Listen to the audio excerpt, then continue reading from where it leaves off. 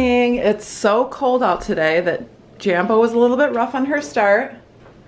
Butterball spent a total of three minutes outside and she already wants back in. It is currently 19 degrees. How do you feel about that? I want to go back to bed. Yeah, right. it just looks cold out there. You know, if you live in Michigan, you freaking know, man. This time of year, look at this.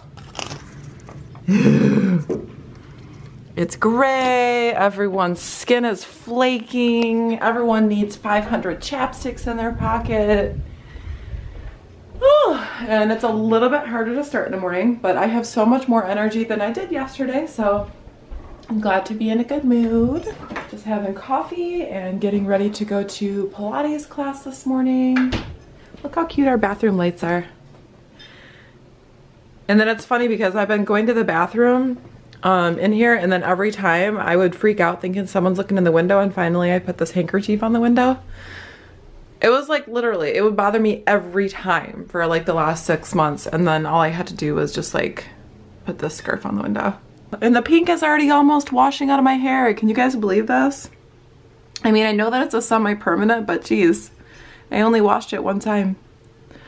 Okay, I'm half awake. I gotta go get out in the cold and get Jambo started.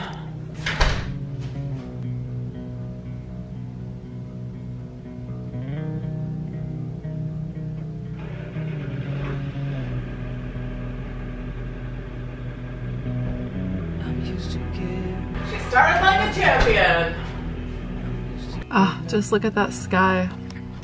As always, I feel five zillion times better. Something about today, the room was like super warm.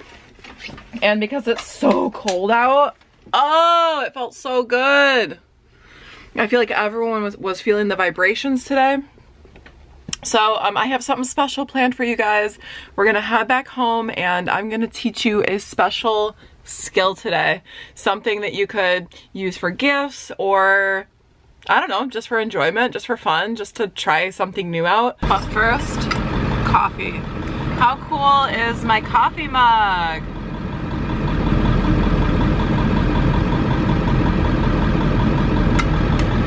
Yeah, I bring coffee to Pilates and then soda water to my Sculpt class because Sculpt is a lot more intense, so. Yeah, but can you see this pink? It's already almost washed out of my hair. Oh well. So for any of you who are also looking for like some gift giving ideas, this is the Klean Kanteen and I don't know if you can see it, but there's actually still steam coming out of here. Look at that. So this keeps your coffee hot for hours. It's a double insulated thermos and they come in like really funky groovy colors and I've had this one for like four years. Okay, now we're ready.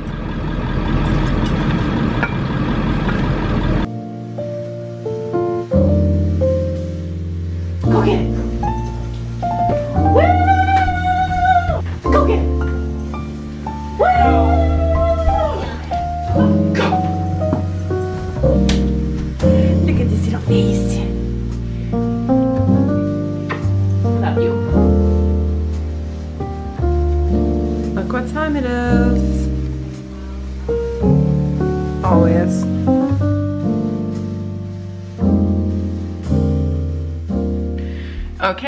You ready for what we're about to get into today? So I thought it'd be really fun because I've gotten into the art of rug making to teach you how to punch needle your own rug. So you wanna just make sure that you have a nice clear space to work in. It doesn't have to be huge because this is the size that we're gonna be working with today. So I've organized all the materials that you're gonna need. So there's several vendors on Amazon that will sell a full-blown kit. And this is usually what's gonna come in the kit. So first is gonna be your monk's cloth. I can't really remember the name. They usually just send you a square. So I'll actually put a link for the cloth that I actually use for the larger scale works, but they usually only send just a little bit, you know, for practice or for one actual project. And then you can get the round hoop. Now I actually only use this for practice just to kind of get used to the actual act. Then they'll also send you a couple different lengths of your threading wire which is very simple. Actually, the little tape piece on the end of mine came off, so I just, you know, compromised with some blue tape here. This is actually my cat's newest toy, actually, as well. So be careful of your cats, because they're gonna bend the hell out of this thing. But this is the little threading wire. The company that I ordered my kit from sent me two different thread punching needles. So this one would be more of just the classic one. And if you notice, this one's not adjustable. So you're really only gonna get one length on your punch needle. So imagine that this is the rug that it's going into and then pulling out and then going back in and then pulling out. There's only one length here. Whereas this pen actually has the adjustment here. So for example, mine's on the longest punch needle and then you can go on down to like a pretty short loop. So basically what I mean by that is once you punch it through, when you turn it around to the front of your project, that loop is just gonna be shorter or longer depending on the length that you set it on. So let's go ahead and just jump right in and I'll show you how I am making these large scale works. So first things first, you have your little um, loop thing here and it's pretty self-explanatory. You're just gonna put this over and then you're gonna put the inner loop in, squeeze it in there, and then you wanna add a little pressure here and then just pull the outer edges out to make sure that it's nice and tight. It's easier to punch when you have a nice tight cloth in the middle. The next thing you wanna think about is that your image is actually gonna be in reverse. You're basically gonna be working from the back. So you wanna think of how it's going to appear on the front. Always keep that in mind. So what I do is I go in on the back and I just take a simple um, colored pencil or a graphite pencil and draw my image on the back. I usually use a sepia tone colored pencil because the graphite tends to wear off a little bit quick. But it looks like I just have a graphite pencil here available, so I'm just gonna go ahead and... So then you can just draw your image on the back. I'm just gonna draw three little berries for a little let's just do a holly leaf. Let's do something festive. You can do whatever you want, really. You can do something a little more perverse, you know, a little more, you can go simpler, you can go more intense, whatever. Just do something that feels good to you. Now with a smaller space like this, you're probably gonna wanna go with something simpler. And you can be a little bit more liberal, of course, when you have the bigger palette setup. I remember drawing these when I was a little girl all the time. I don't know why, like around Christmas time. Probably just because it was easy.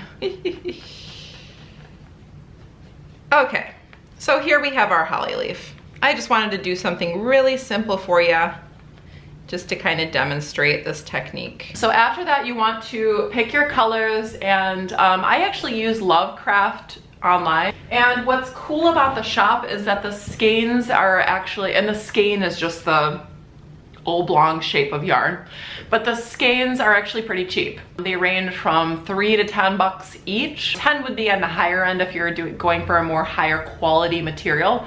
And then the three bucks is kind of like, you know, the cheaper acrylic blends and stuff like that. So I usually go for like cheap to mid-range. Up me and banyaha, as my uh, Cambodian friends would say, no problem. You also wanna think about the thickness of the yarn. And this is actually a problem that I ran into because obviously any new practice is a learning curve and I ordered all the wrong types of yarn because they were all different weights. So you wanna make sure that you get the same weight of yarn. There's corresponding numbers for each weight. So I actually just by bulky weight um, and that's usually I think uh, size four or five so just really be very careful when you're ordering your yarns otherwise when you do your punch needle the sizes are gonna be different. If that's a look that you're going for, fine. But don't make the mistake that I did and order different weights of yarns because one, it might not even be able to be threadable through your needle. That's a problem I ran into. The yarn was too thick. And then I also had gotten a yarn that was way too thin. It was like a two or three or something.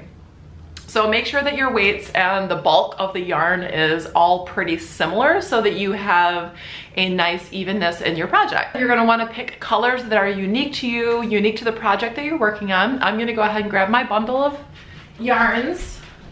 I have a lot of yarn wrapped up now. Um, this is my first bin. Just find a bin, you know, something to keep all your yarns in because this, this shit's gonna get out of hand pretty quick. And these things, when they come unraveled, you gotta make sure that you keep it tidy, okay? Because otherwise you're gonna be, the cat's gonna be in there, there's gonna be knots in your yarn. it's gonna be chaos. Let's go ahead and start with the holly balls. I don't really have a bright red, so I'm gonna use this kind of pumpkin spice orange color. I suggest a high quality pair of scissors so that you don't have to fumble with um, cutting your yarn. Here's your needle. You see this little hole in the top here? That's where you're gonna put your threading needle through. So it takes a little bit of, you know, getting used to. So you're gonna pinch the end of the wire and then you're gonna place the wire in the hole and then down the shaft of the tube. Okay, that sounds really sexual, sorry. But you're gonna put it right there in the hole and then thread it down. It's gonna take a little practice, but get it down there. It's a little bit awkward. So then it's gonna look like this. There's gonna be a little bit of wire coming out the bottom and then your top tape part up here. Now take the end of the yarn and then just put it through that little loop on the bottom. So just like that. And now what we're gonna do is we're gonna pull the top all the way up and boom. So your needle is threaded. So see how the yarn is coming through that hole. That's very important. I actually threaded the needle wrong the first time I did this and it was ridiculous. I'm gonna actually adjust my length a little bit because it's on the longest length. So I'm gonna take this down. So push, the, push it in, come on down. I think I'll come down to the second longest length. Okay. And now what we're gonna do is we're just literally gonna follow the shape of what we've drawn. Now, I would highly suggest following all the way around the outside and then continue all the way uh, into the inside of the shape. That's gonna give you a really nice aesthetic and a nice pattern. People are gonna say, maybe this is wrong. I don't know. This is just the way I learned and, and like how I found the best look. So then we're just gonna push the needle all the way through. Make sure that you get the needle all the way down to the very, very bottom, okay, before pulling back up. Then we're gonna pull up and you can use this hand as a little bit of pressure to keep the tautness of the punch needle and then just continue.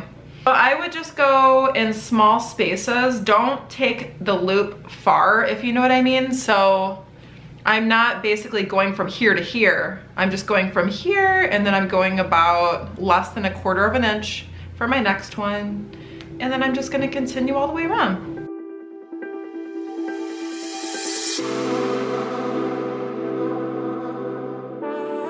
Another thing that you wanna keep focus on is that there is a lot of slack with your yarn. Otherwise, this is gonna pull too tight and then the loops are gonna get small on the back.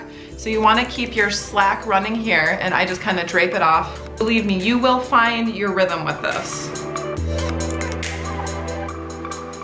Okay, once you have your initial shape, I just did one berry. Once you're done with one color, you're just gonna cut a little snip and then leave it. So I'll show you what it looks like from the front.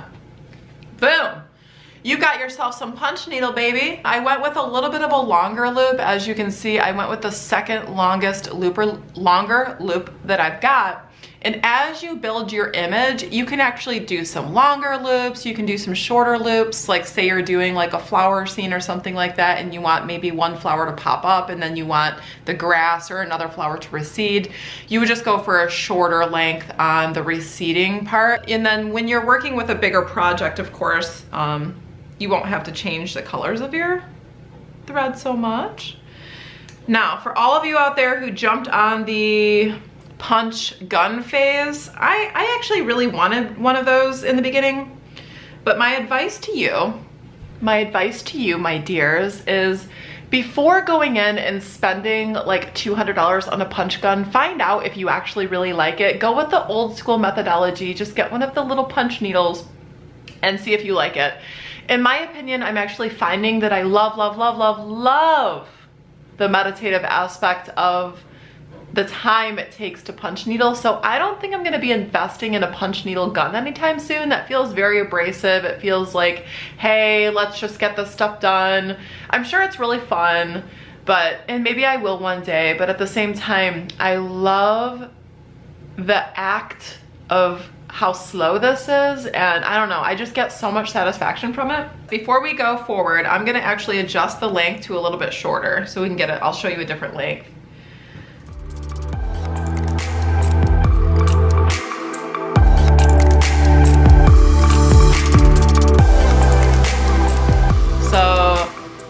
There we have it. So here you can see that the pile on the red, of course, is just slightly higher than the pile on the green. So that's gonna read as if the berry was closer and then the leaf was slightly behind. And so again, once you get your other colors like in the background and everything like that, you can actually adjust from the front and just kind of play with it the pile and just kind of make sure it's a little bit neater and tidy because sometimes the loops actually get interdispersed with another loop so you have to untuck it if that makes any sense. All right guys, I hope this was informative for you and maybe you could even use this technique to create presents for your family. It's just a really fun, easy, simple methodology going back I don't even know how many years but I remember doing punch hole rugs when I was a little girl and I don't know, there's something about it that just brings such a deep satisfaction so please let me know how your punch needling goes and if this video was helpful to you, please consider giving it a like. It really helps out my channel right now. I'm looking to build and grow this channel and continue bringing you more consistent content over the coming months and the coming years. Anyway, thank you guys so much for joining me and let me know how your punch needling goes. I'll see you in the next Vlogmas. Bye babies!